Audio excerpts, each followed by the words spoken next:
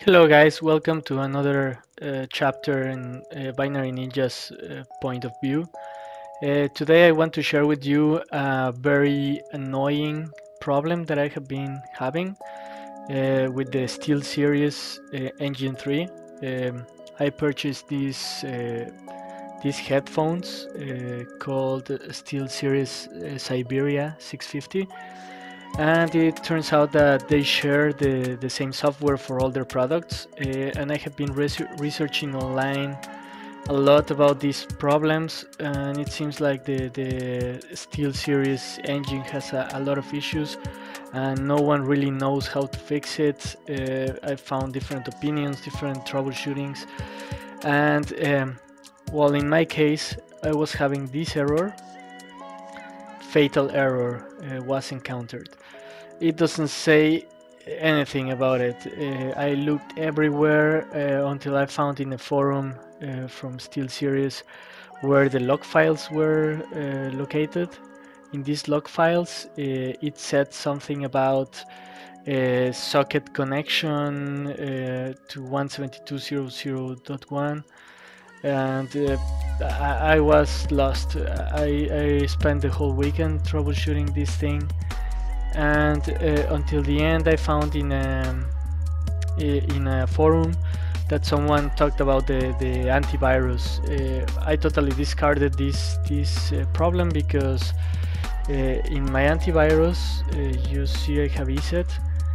I totally disabled everything uh, I disabled internet protection, I disabled uh, network protection, all the firewall, everything was disabled and I was still getting the problem.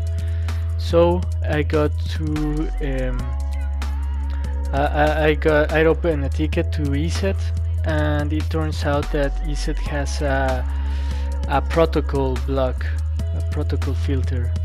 So um, I'm gonna show you how to do this. Uh, as you can see now I have the ESET completely uh, turned on and my software works perfectly as it should. So um, to achieve this, uh, the guy from, from the tech support uh, went here to um, tools, setup, internet protection no sorry you go to home setup advanced setup in the section of web and email here in this section enable protocol content filtering so you go here to excluded applications click edit and you have to add here these two exe files SteelSeries engine 3 client.exe and SteelSeries engine 3.exe and that's it. it uh, after you add this in the in the exceptions here, you can have your your antivirus and everything turned on as as normal.